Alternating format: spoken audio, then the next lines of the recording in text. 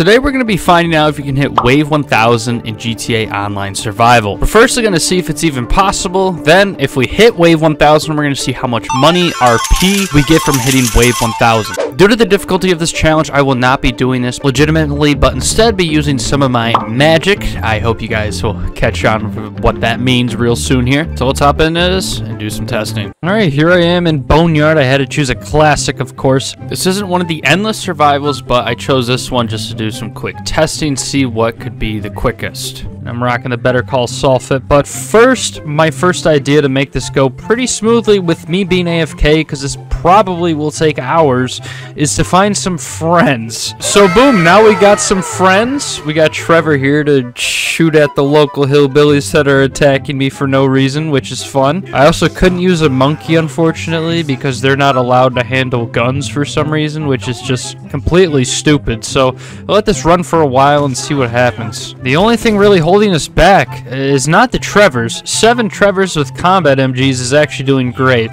The only thing holding us back really is the hillbillies making their run here.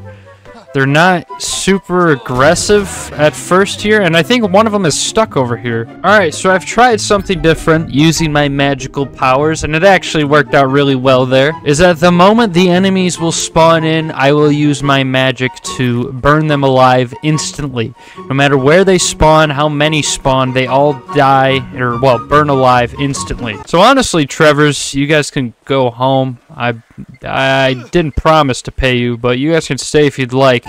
Wave 1000, people. I think we can do it. there we go. Another wave done. We couldn't even see anyone spawn. That's how quick it went. Now we're going to try it for real this time. And before we do that, leave some more crazy challenges down below in the comments and predict right now whether or not we're going to be able to hit wave 1000. It has been over eight hours. I just got back and we're at wave 711. Jesus Christ.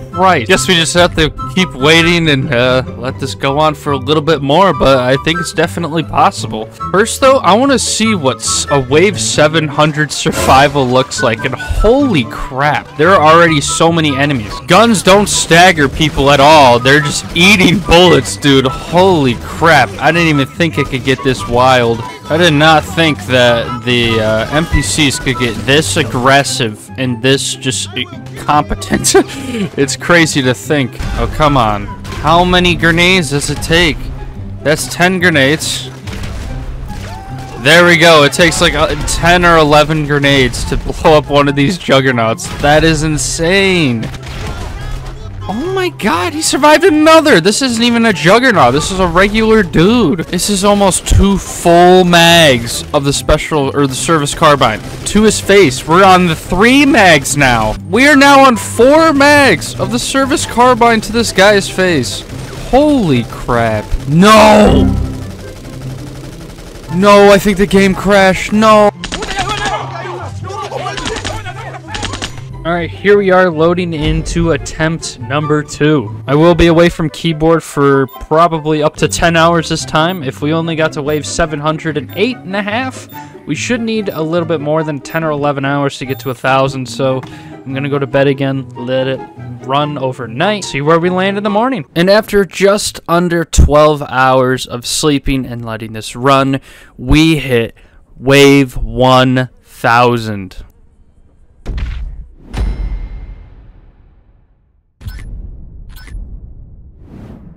Now at this point I was still away from keyboard, I was still sleeping, so I wasn't able to actually see Wave 1000 live.